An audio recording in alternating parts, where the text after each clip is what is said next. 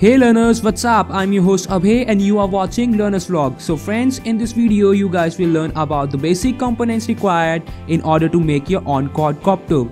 So if you are planning to make a quadcopter then watch this video till the end and if you haven't subscribed to our channel then don't forget to subscribe by clicking on the red subscribe button and also press the bell icon in order to grab all the latest updates from Learners Vlog. So first thing that you require to make a quadcopter is its outer body or frame on which each and every component can be installed. You can make a quadcopter frame with 4 arms at home by using light materials such as wood, aluminium etc. or you can buy a frame from e-commerce sites such as Amazon, Flipkart or from the stores near to your house. The frame which are available on both the sources are made up of different materials such as carbon fiber, titanium, aluminium, fiberglass, steel, etc. The best suitable material for your quadcopter frame is carbon fiber as it is very light with low density and high tensile strength but at the same time it is very costly. And you can also choose plastic one as in my case and it costs nearly between 1000 to 850 Indian rupees whereas carbon fiber frames are starting from 2000 Indian rupees and above. And the second thing required is brushless motors. In case of quadcopter, you require one motor for each arm and total of 4 brushless motors. And these brushless motors are also called as outrunners because in this type of motors, rotating part is on the outside of the motor. And because of this layout, this type of motor can generate much more torque. Higher torque is required for quadcopters since we balance by changing the revolution of the motor. Higher your torque, the faster you can change the speed of your propellers and you don't need a gearbox and saves a lot of mass. And by using this type of motor, you can achieve more than 3 ratio 1 power to weight ratio on a 50 gram airframe. And suppose your motor has a power to weight ratio of 5, then it means it can lift 5 times more than its original weight.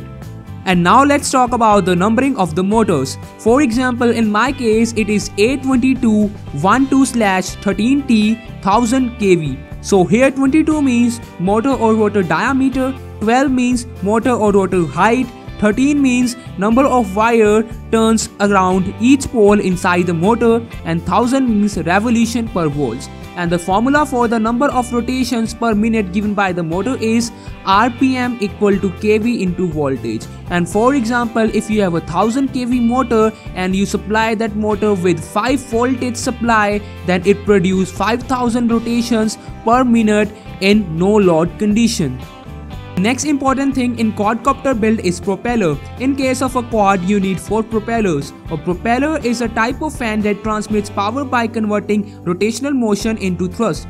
It is mainly made up of plastic or carbon fiber material.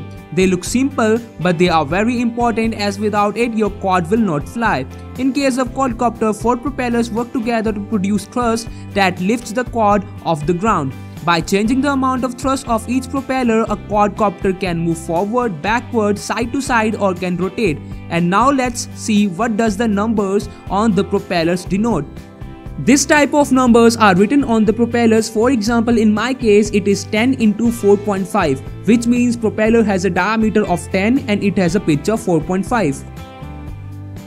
Here diameter means the distance from tip to tip of a propeller and pitch means how far a propeller will move a quadcopter in idle condition during one revolution. In my case, I have propeller of pitch 4.5 it means it will move the quadcopter 4.5 inches forward for every revolution it turns.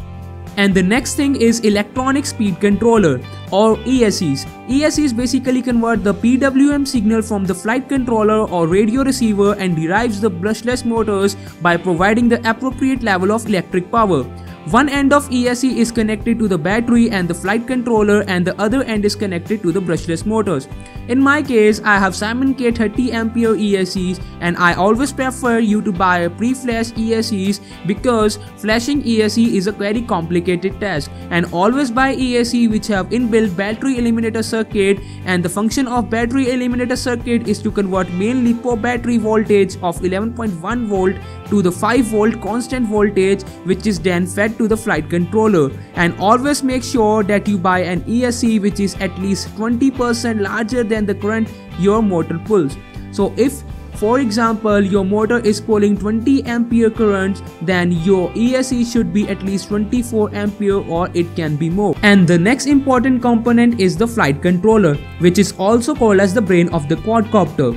There are a variety of flight controllers out there in the market, for example, Hobby King KK 2.1 multi-rotor flight controller, NASA 32, OpenPilot CC3D, etc. The basic function of the flight controller is to direct the RPM of each motor in response to the input. A command from the pilot for the multi-rotor to move forward is fed into the flight controller which determines how to manipulate the motor accordingly. And in my case, I have OpenPilot CC3D flight controller. And the next components are transmitter and receiver. Transmitter is basically device by which one can control the working of a quadcopter and receiver basically receive the signal from the transmitter and then send it to the flight controller in order to control the motors. I always recommend you to buy 6 channel transmitter and receiver so that you have 2 channels extra for doing separate things. For example, in order to operate LEDs etc. There are many transmitters and receivers out there in the market and I have FlySky FS CT6B transmitter and receiver. And the last component required is battery and its charger. In this we use LiPo battery or lithium polymer battery in quadcopter build. I recommend you guys to use 3S LiPo batteries or 4S and it will provide sufficient voltage to run your quadcopter. 3S battery means which have 3 cells in series and it will provide voltage of 11.1 volt and whereas 4S battery will provide voltage of 14.8 volt. And you also need a charger to charge your LiPo battery and in my case I have B3 Pro compact charger for charging it. Friends, this was the video in which I have explained the components required in order to make your own quadcopter. Friends, how do you like our video? Comment down below and let us know about your experience with us. And don't forget to subscribe and give thumbs up as it will motivate me to make such videos for you lovely guys out there in future. Till the next video, bye bye.